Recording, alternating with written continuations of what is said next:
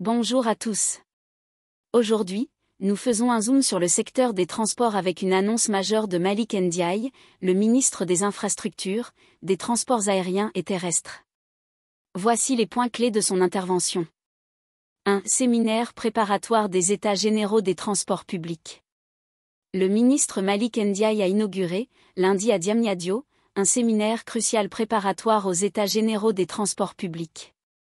Ce séminaire, le deuxième après celui de juillet 2024, réunit des acteurs socioprofessionnels et diverses parties prenantes pour poser les bases d'une réforme en profondeur du secteur.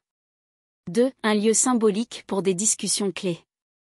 Le choix du stade Maître Abdoulaye Wade comme cadre de la rencontre n'est pas anodin.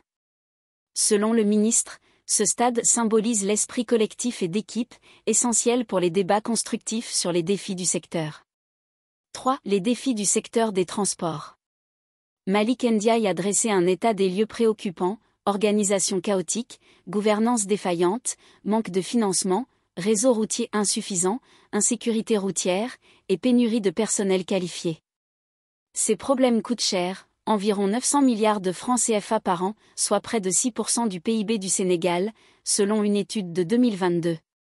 4. Un appel à l'unité pour endiguer les accidents routiers le ministre a qualifié les accidents routiers de carnage et a lancé un appel urgent à tous les acteurs impliqués route, forces de défense, services de permis de conduire et conducteurs pour unir leurs efforts et mettre fin à cette tragédie qui coûte des vies chaque jour.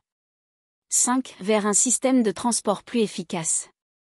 Malik Ndiaye a conclu son discours en soulignant l'importance de construire un système de transport plus efficace, inclusif et respectueux de l'environnement. Ensemble, nous avons le potentiel de construire un système de transport meilleur pour tous les citoyens, a-t-il affirmé avec conviction. Voilà pour notre focus sur le secteur des transports.